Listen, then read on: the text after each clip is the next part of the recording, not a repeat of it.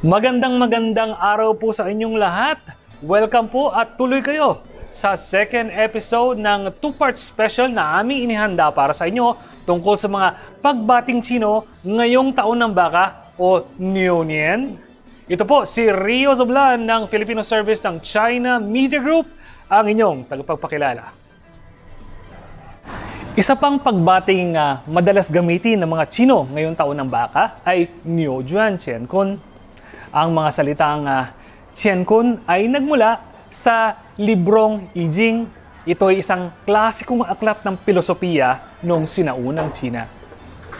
Ang Qian ay nangangahulugang langit at ang Kun naman ay nangangahulugang lupa.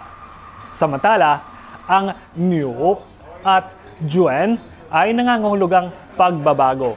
At ang karakter na Niu ay singkatulad ng bigas ng karakter na Niu na nangangahulugang baka. Kaya ang pagbating Niu Juan Kun ay nangangahulugang sana'y magkaroon ng malaking pagbabago sa buhay mo ngayong panahon ng baka.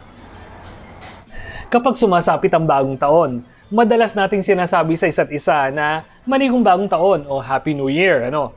Pero ngayong taon ng baka dito sa China, isa sa mga patok na ginagamit ay Happy New Year Nyo na nangangahulugang baka.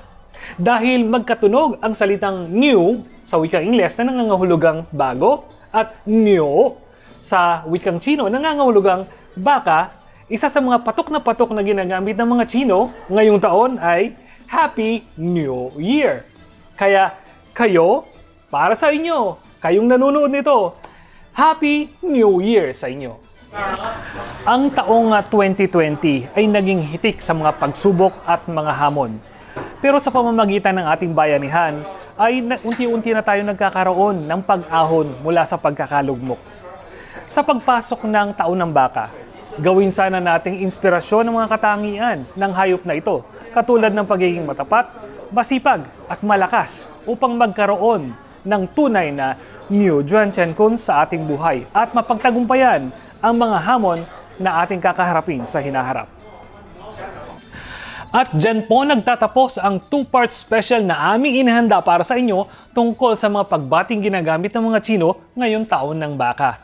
Ito po muli si Rio Zablan, Niu Nian Daji, Niu Chi Chung Tian, Niu Juan Chen Kun, at Happy New Year sa ating lahat. Paalam!